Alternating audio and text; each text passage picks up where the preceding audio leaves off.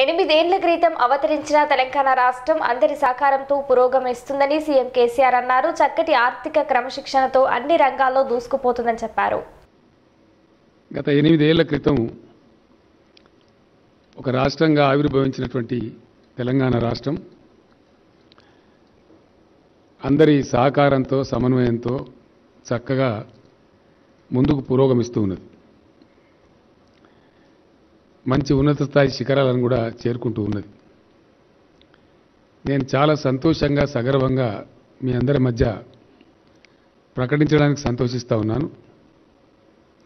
ఒక స్థాయి కలిగినటువంటి రాష్ట్రాలు అంటే గోవా సిక్కిం లాంటివి పక్కన పెడితే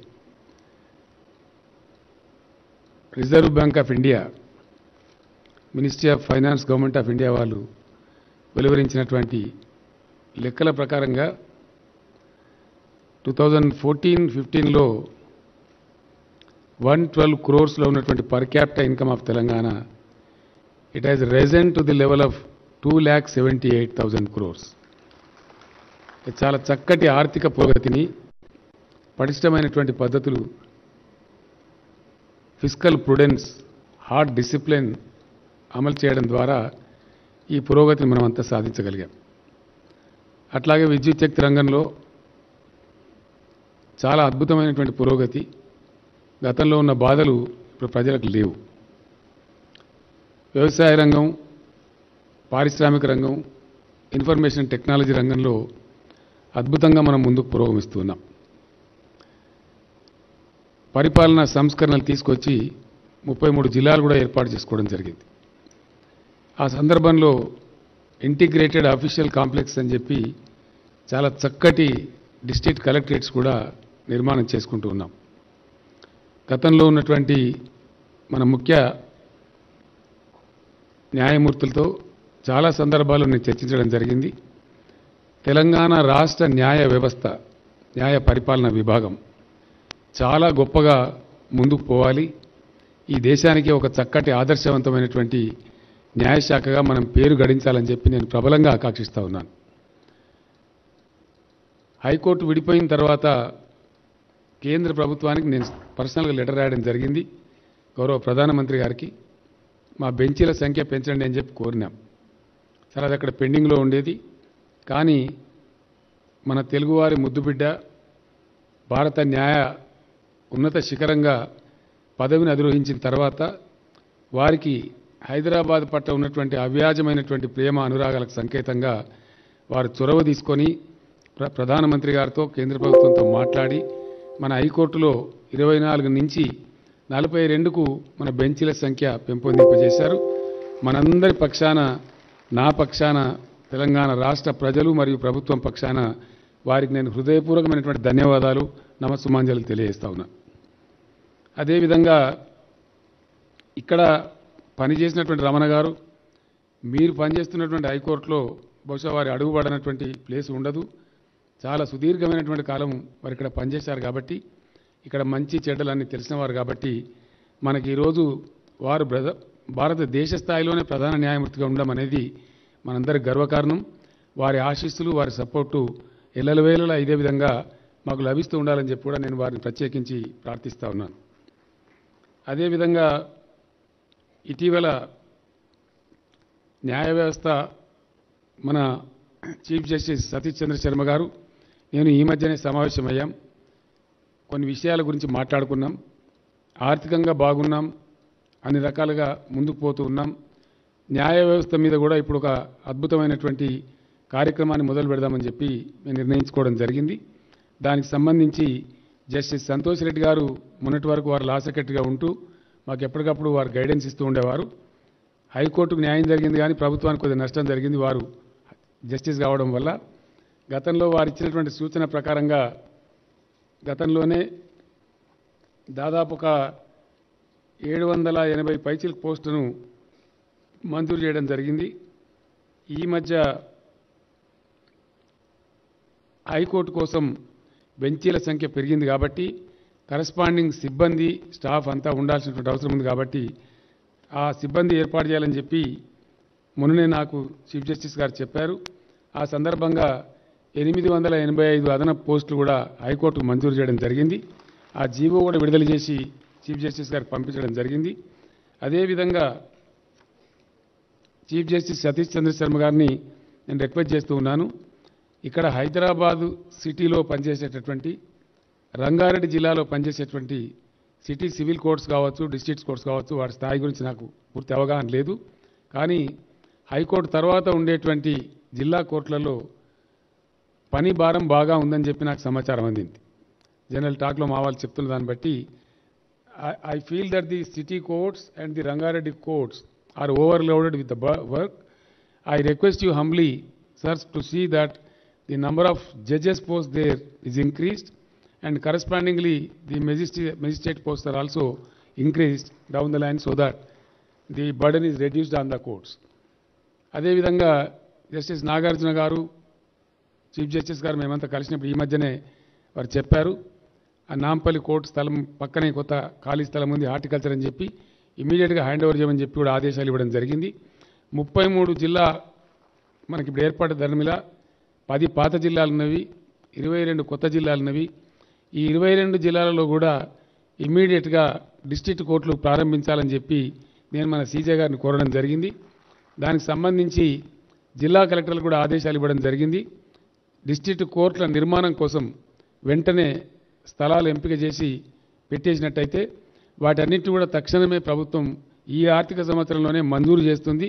చక్కటి భవనాలు అన్ని వసతులతో కూడినటువంటి భవనాలు నిర్మాణాలు కూడా చేపడదామని ఈ సందర్భంగా నేను తెలియజేస్తా ఉన్నాను. గతంలో సంతోష్ రెడ్డి గారు ఇచ్చినటువంటి సూచన మేరకు ఇటీవల హైకోర్టు ఇచ్చినటువంటి సూచన మేరకు జస్టిస్ నాగార్జున మరియు మన సీజే గారు వీరందరూ కలిసి ఏర్పాటు చేసిన దాని ప్రకారం ఈ కొత్తగా స్టార్ట్ చేయబోయేటువంటి డిస్ట్రిక్ట్ కోర్ట్స్లో కూడా సిబ్బంది కావాలని చెప్పి చెప్పడం జరిగింది. అక్కడ దాదాపుగా పదిహేడు వందల ముప్పై అడిషనల్ పోస్ట్ శాంక్షన్ కావాలని చెప్పారు. వాటిని కూడా మంజూరు చేస్తూ ఉన్నామని చెప్పి నేను చాలా సంతోషంగా ప్రకటిస్తూ ఉన్నాను. అంటే హైకోర్టులో డిస్ట్రిక్ట్ కోర్ట్స్లో కింద ఉండేటువంటి మెజిస్ట్రేరియల్ కోర్ట్స్లో స- తగినటువంటి సిబ్బందిని ఇస్తూ ఉన్నాం. తెలంగాణ రాష్ట్రం ఏర్పడిన తర్వాత మన న్యాయ పరిపాలన విభాగం కోసం ఇప్పటి వరకు రాష్ట్ర ప్రభుత్వం మంజూరు చేసిన పోస్టుల సంఖ్య సార్ నాలుగు వేల మూడు వందల నలభై ఎనిమిది పోస్టులను మంజూరు చేయడం జరిగింది. ఆ విధంగా చర్యలు తీసుకోవడం జరిగిందని కూడా నేను మనవి చేస్తూ ఉన్నాను. రాష్ట్ర ప్రభుత్వ పక్షాన మన న్యాయ పరిపాలన విభాగం అద్భుతంగా ముందుకు పురోగమించడానికి దేశంలోనే ఒక ఆదర్శవంతమైనటువంటి జస్టిస్ డిపార్ట్మెంట్గా పేరు తెచ్చుకోవడానికి అన్ని వేళల్లో అవసరమైనటువంటి అన్ని సహాయ సహకారాలు అందించడానికి ప్రభుత్వం పూర్తి స్థాయి సంసిద్ధంగా ఉందని నేను తెలియజేస్తూ ఉన్నాను అదే సందర్భంలో డిజిటలైజేషన్ ఆఫ్ రెవెన్యూ రికార్డ్స్ కూడా చాలా వేగవంతంగా ఇక్కడ చేయడం జరిగింది. భారతదేశంలో ఎక్కడ కూడా జరగలేదు. కొందరు ప్రారంభించి పాక్షికంగా చేసి ఆగిపోయారు. కానీ ఇక్కడ రెవెన్యూ రికార్డ్స్ అన్ని కూడా డిజిటైజ్ చేశాం. సుమారు ఒక కోటి యాభై రెండు లక్షల ఎకరాల భూముల రికార్డులు డిజిటైజ్ అయి ఉన్నాయి కంప్యూటరైజ్ అయి ఉన్నాయి. వాటిని డిజిటల్ పద్ధతిలోనే ఈరోజు రిజిస్ట్రేషన్స్ కూడా నిర్వహించబడుతూ ఉన్నాయి. కోర్టుల మీద ఉండేటువంటి అపారమైన నమ్మకంతో విశ్వాసంతో రెవెన్యూ కోర్టులన్నింటినీ కూడా ప్రభుత్వం రద్దు చేయడం జరిగింది. ఎందుకంటే రెవెన్యూ కోర్టు తర్వాత మళ్ళీ లిటిగెంట్స్ అక్కడనే ఆగకుండా మళ్ళీ కోర్టులకు వస్తూ ఉన్నారు. కాబట్టి సమయం వృధా అవుతుంది కాబట్టి రెవెన్యూ కోర్టులను రద్దుపరిచి the total litigation now is handed over to the justice department of the state of Telangana. నేను మీ అందరినీ కూడా ప్రార్థించేది ఒకటే. జడ్జీల గురించి కూడా నేను ఒక మంచి మాట చెప్పాల్సిన అవసరం ఉంది. మన హైకోర్టు జడ్జీలు. ఇందాకనే మనం ఇప్పుడు ఆ రెండు భవనాల గురించి జస్టిస్ రమణ గారి చేత కార్యక్రమాన్ని జరిపించుకున్నాం. అదేవిధంగా మన రాష్ట్ర న్యాయమూర్తులు వారి హోదాకు తగ్గ స్థాయిలో గౌరవప్రదంగా హైదరాబాద్లో ఉండాల్సినటువంటి అవసరం ఉంది. దానికి సంబంధించి మొన్ననే నేను సీజే గారితో చర్చించడం జరిగింది. రాబోయే వారం రోజులలో ప్రధాన న్యాయమూర్తి జస్టిస్ సతీష్ చంద్ర శర్మ గారు ఐకే రెడ్డి గారు మన జడ్జిలు న్యాయమూర్తులు మీరందరూ పరిశీలన చేసి ఒకసారి ఓకే చెప్పితే నలభై రెండు మంది జడ్జీలకు కూడా ఒకే చోట వచ్చే విధంగా అద్భుతమైనటువంటి క్వార్టర్స్ నిర్మించాలని చెప్పి అనుకున్నాం. ఒక ముప్పై నలభై ఎకరాల స్థలంలో మన దుర్గం చెరువు ప్రాంతంలో ఫైనాన్షియల్ డిస్ట్రిక్ట్లోనే అక్కడ ఒక ముప్పై ఎకరాల స్థలం అందుబాటులో ఉంది. అక్కడ చాలా చక్కటి భవన భవనాలు మన న్యాయమూర్తుల హోదాకు తగ్గట్టుగా నిర్మించబోతా ఉన్నామని చెప్పి సంతోషంగా జస్టిస్ రమణ గారికి నేను సబ్మిట్ చేస్తూ ఉన్నాను. మరొకసారి మేము మీకు ట్రబుల్ ఇస్తాం సార్ తప్పకుండా. ఆ స్థలం మా వాళ్ళు ఫైనల్ చేసిన వెంటనే ఫౌండేషన్ స్టోన్ దయచేసి తమరే రావాలని చెప్పి ఈ సందర్భంగా నేను సాధారణంగా తమను ఆహ్వానిస్తూ ఉన్నాను. ఒకసారి అది ఫైనల్ అయితే మళ్ళీ మీ దగ్గరికి ఆ ప్రతిపాదనతో మా సీజే గారు నేను ఇద్దరం కూడా వస్తాం. వచ్చి తమని ఆహ్వానిస్తామని కూడా సవినయంగా తెలియజేస్తూ ఉన్నాను. అదే రకంగా జస్టిస్ రమణ గారి చొరవతో ఆల్టర్నేట్ డిస్ప్యూట్ మెకానిజం ఏదైతే ఉందో ప్రపంచవ్యాప్తంగా ముందుకు పోతున్నటువంటి తరుణంలో భారతదేశంలోనే ప్రప్రథమంగా వారే చొరవ తీసుకొని నాకు చెప్పి ఇక్కడ మన హైదరాబాద్లో పెట్టాలని చెప్పి ఇంటర్నేషనల్ ఆర్బిట్రేషన్ సెంటర్ని ప్రారంభించుకున్నాం. కార్యకలాపాలు కూడా ప్రారంభమైనాయి. వారి ఆశీస్సులతోని బ్రహ్మాండంగా దానికి బిజినెస్ కూడా వస్తూ ఉంది. ఆ రకంగా ఆ సెంటర్ కూడా అద్భుతంగా ముందుకు పోతుందని చెప్పి మీ అందరికి నేను సవినయంగా మనవి చేస్తూ ఉన్నాను. న్యాయమూర్తులందరూ ఇక్కడ కొలువై ఉన్నారు కాబట్టి మీ అందరితోని రాష్ట్ర ముఖ్యమంత్రిగా నాది ఒకటే ప్రార్థన. ఈరోజు ప్రపంచవ్యాప్తంగా కూడా పెట్టుబడులు ఆకర్షించడంలో జిల్లాలకు జిల్లాలకు మధ్య రాష్ట్రాలకు రాష్ట్రాలకు మధ్య దేశాలకు దేశాలకు మధ్య అనివార్యంగా పోటీ వాతావరణం నెలకొని ఉంది. అంతర్జాతీయ వ్యాపార వాణిజ్యవేత్తలతో మేము ఏ సందర్భంలో మాట్లాడినా ఫస్ట్ క్వశ్చన్ వాళ్ళు అడిగేది సరే కొన్ని ఇతరత్ర అడుగుతారు. దాని తర్వాత అడిగేది మీ దగ్గర జ్యుడిషియరీలో డిస్పోజల్ ఎట్లుందండి? ఏదైనా కేసు వస్తే సంవత్సరాల తరబడి ఇరుక్కుపోతే మాకు ఇబ్బంది వస్తుంది కాబట్టి దయచేసి ఎట్లా ఉందని చెప్పి అడుగుతూ ఉంటారు. ఆ రకంగా ఉండేటువంటి ఈ అంతర్జాతీయ వర్తక వాణిజ్య వ్యాపార పోటీ నెలకొనున్న ఈ పరిస్థితులలో గౌరవ న్యాయమూర్తులందరికీ నా సవినయమైన విన్నపం. అటువంటి డిస్పోజల్లో కొద్దిగా మన దగ్గర స్పీడ్ పెరిగినట్టయితే ఎక్కువగా మనం పెట్టుబడులు ఆకర్షించే అవకాశం ఉంటుంది. The dynamic Hyderabad city the vibrant Hyderabad city will become more vibrant which will be a happiest note one and all. కాబట్టి ఆ రకంగా ఆ దిశగా మన న్యాయమూర్తులు కృషి చేయాలని చెప్పి కృషి చేస్తారని చెప్పి నేను కోరుతూ ఉన్నాను. తెలంగాణ రాష్ట్ర హైకోర్టు ఏర్పడ్డ తర్వాత మొదటిసారిగా జరుగుతున్నటువంటి ఈ జ్యుడిషియల్ ఆఫీసర్స్ కన్వెన్షన్లో నాలుగు వందల మంది న్యాయ వ్యవస్థకు సంబంధించినటువంటి అధికారులు న్యాయాధికారులంతా ఇక్కడ కొలువుదీరున్నారు. రెండు రోజుల పాటు ఈ ఉత్సవాలు ఈ యొక్క కార్యక్రమాలు బాగా జరిగి వ్యూస్ ఎక్స్చేంజ్ చేసుకొని మన యొక్క పనితనాన్ని మెరుగుపరచుకోవడానికి ఇవి దోహదపడుతుందని చెప్పి నేను ఆశిస్తా ఉన్నాను. ఆ రకంగా మంచి భగవంతుని గణపతి దేవుని ప్రార్థించి మనం ఈ కార్యక్రమాన్ని ప్రారంభించుకున్నాం. భారత ప్రధాన న్యాయమూర్తి గారి చేతుల మీదుగానే ప్రారంభించుకోవడం కూడా మనకు గర్వకారణం. ఈ ఆపర్చునిటీ అన్ని రాష్ట్రాలకు దొరకదు. మనకు వారు సమయం ఇచ్చారు. కాబట్టి మనవారు కాబట్టి ఆ చొరవతో మనం కోరితే వారు సమయం ఇచ్చారు.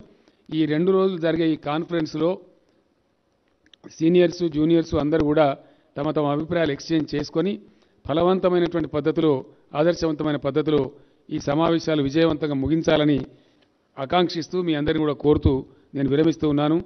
జై తెలంగాణ జై హింద్.